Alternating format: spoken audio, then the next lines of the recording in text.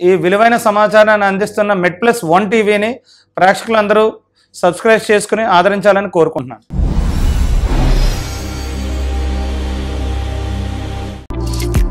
ముక్కులో కాయలు అంటే నేజల్ పాలిప్స్కు కారణాలు చికిత్స. ఈ ముక్కులో పాలిప్స్ అనేవి ఎక్కడో బయట నుంచి రావండి. అవి ముక్కులో పాలిప్స్ అనేవి ముక్కులోనే పుడతాయి.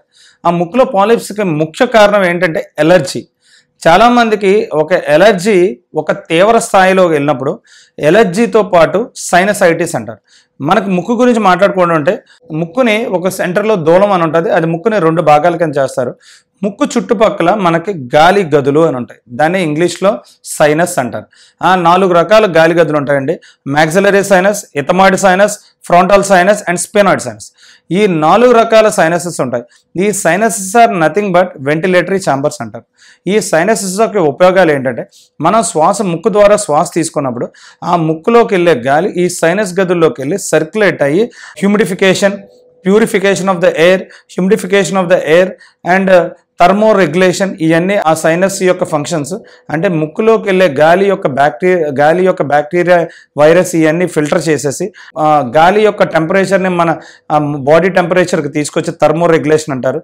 ఆ గాలిలో ఉన్న తేమను తీసి హ్యూమిడిఫికేషన్ అంటారు. ఇవన్నీ సైనస్ ఫంక్షన్స్ అంటారు. ఎప్పుడైతే ఎలర్జీ పేషెంట్స్ ఈ ఎలర్జీ తీవ్రంగా తుమ్ములు వచ్చి ఎలర్జీ పేషెంట్స్కి ఈ ముక్కులో సైనస్ ఇన్ఫెక్షన్స్ అని వస్తారు దాన్నే రైనో సైనసైటిస్ అంటారు. ఈ ఎలర్జీ ఒక తీవ్ర స్థాయికి వెళ్ళినప్పుడు ఈ ముక్కులో పాలిప్స్ అనేవి ఫామ్ అవుతాయి. ఈ ముక్కులో కపం ముక్కులో కపం నిల ఉండిపోయి ఈ సైనసెస్ బ్లాక్ అయిపోయి సైనసెస్ బ్లాక్ అయ్యి ముక్కుకి సైనసెస్కి లోపల కన ఇంటర్ కనెక్షన్ కట్ అయ్యి ఆ లోపల సైనసెస్లో కపం చేరిపోయి ఆ కపం చుట్టూరు ఒక క్యాప్సూల్ కింద ఫామ్ అయ్యి ఆ క్యాప్సూలే ముక్కులో పాలిప్స్ అంటారు పాలిప్స్ అంటారు. ఈ పాలిప్స్లో కూడా మనం మాట్లాడుకోవాల్సి అంటే రెండు రకాల పాలిప్స్ ఉంటారండి. యాంట్రోకోయినల్ పాలి ఏసీ పాలిప్ అంటారు యాంట్రోకోయినల్ పాలిప్ అంటారు ఎథమాయిడల్ పాలిప్స్ అంటారు. యాంట్రోకోయినల్ పాలిప్స్ అనేవి ద్రాక్ష పళ్ళు గుత్తుల్లో ఉంటాయి. ఈ ముక్కు మొత్తం ఈ మొత్తం రెండు ముక్కులు ఒక ద్రాక్ష పళ్ళు గుత్తు ఎలా ఉంటుందో అలాగే రెండు ముక్కుల్లో మొత్తం ఈ కాయలు ఫామ్ అయ్యి ఈ ద్రాక్ష పళ్ళు గుత్తుల్లాగా మొత్తం ముక్కు అంతా మూసేసి ముక్కులోంచి గాలి వెళ్ళకుండా ముక్కును కంప్లీట్గా బ్లాక్ చేసేస్తారు. అండ్ ఇంకో రకం యాంట్రోకోయినల్ పాలిప్స్ అంటారు ఈ యాంట్రోకోయినల్ పాలిప్స్ అనేది డంబెల్ షేప్లో ఉంటాయి. ఈ డంబెల్ షేప్లో ఉండి అది ఒక సైడే వస్తుందండి ఎంట్రోకోయినల్ పాలిప్.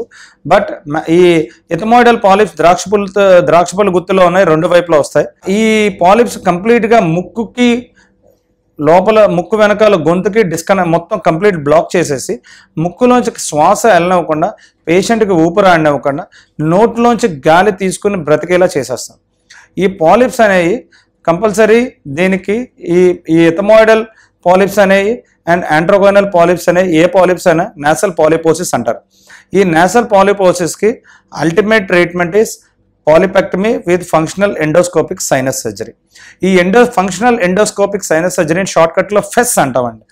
ఈ ఫెస్ సర్జరీ ద్వారా ఈ మొత్తం పాలిప్స్ అన్ని మొత్తం తీసివేయబడతాయి. ఇప్పుడు లేటెస్ట్గా ఇది పూర్వకాలం మాన్యువల్ కన్వెన్షనల్ మెథడ్లో చేసేవారు. ఇప్పుడు లేటెస్ట్గా ఈ మైక్రో డిబ్రేటర్ అనే మిషన్ వచ్చిందండి.